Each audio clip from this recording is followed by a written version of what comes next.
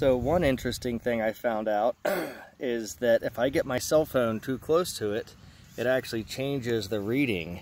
Um, so let's see if you can see. If I go down to 144 and then leave it alone and I come closer to it, see how it jumps way up? So that might have been messing with me before.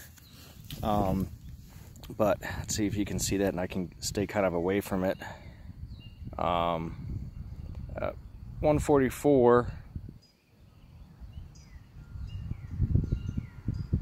you're at about 1.6.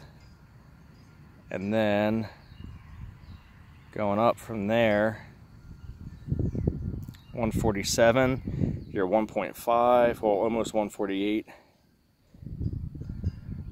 149. You're a 1.5.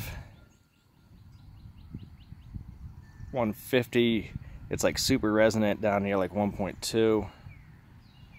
Um, and then from there it goes up, which is kind of odd to me because the elements I think are, are a little bit long, really, so it should be resonant lower. And this is kind of what I ran into before. And um, I ended up, uh, you know, cutting it and making it just totally out of whack. So I'm really hesitant to cut it anymore. Um, it's definitely very usable.